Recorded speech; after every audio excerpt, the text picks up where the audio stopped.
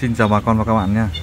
Hôm nay mình à, đang làm à, một cái hồ thủy sinh, dạng mini nhé các bạn. Thì à, hôm qua mình đã làm được xong cái phần hồ.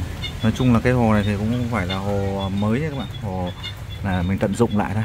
Nên là mình thấy nó hơi lãng phí nên là mình cũng đã tận dụng mình làm để chơi, để cho một cái anh bạn nha các bạn. Thì tiện thể mình làm thì mình sẽ giao quay để à, cho các bạn coi cái quy trình làm cũng như là cái hướng dẫn các bạn làm mà mới chơi cái cái cái um, hồ thủy sinh ấy, thì có thể là tự làm cho mình một cái hồ chơi nhé các bạn. Đó. Thì à, công đoạn chuẩn bị thì là đầu tiên mình có một cái hồ như thế này xong rồi thì là nói chung lại là mình làm tí đề can vào đây cho nhìn cho nó nổi cái khung hình lên nhé các bạn. Thì, à, trong đó thì mình dán một bức tranh à, phong cảnh phía sau. Trong đó thì mình à, giải một cái lớp phân nền đấy một cái lớp phân nền thủy sinh ở dưới nhé các bạn thì xong đó thì mình sẽ giải cái đá này lên này các bạn này. Đó cái đá này này. Giải cái đá này lên lên trên chốc mặt nhé thì giải cái đá lên trên chốc xong rồi thì mình sẽ triển khai là mình sẽ cấy cây cũng như là mình sẽ làm đá và gỗ lũa nha các bạn. Đấy chuẩn bị lấy một ít cây gỗ lũa như thế này này. Đó. gỗ lũa này. Gỗ lũa này, này các bạn chú ý nó phải ngâm trước nhá phải ngâm trước để cho nó ra hết cái cái màu gỗ cái nhựa cũng như là trà rửa cho nó sạch cái cái bẩn của cái gỗ này nhá đó, còn cây thủy sinh thì cũng chuẩn bị sẵn đây mình để sẵn trong chậu này.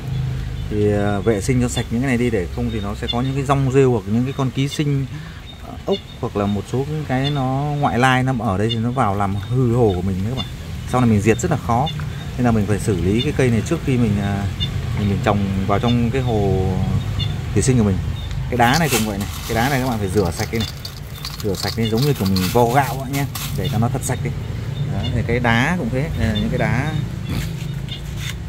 đá này là mình cũng phải rửa sạch cái này. Đấy, rửa hết sạch đá đi. À, cây cối các thứ là mình cũng phải vệ sinh cho sạch hồ các thứ thì mình phải sạch hết.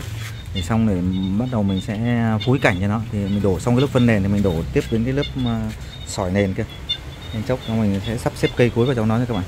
Thì uh,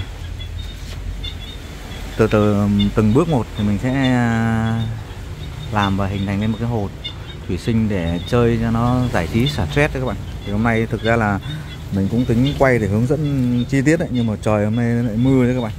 Trời hiện nay đang đang mưa rất là lớn cho nên là đấy, trời đang mưa.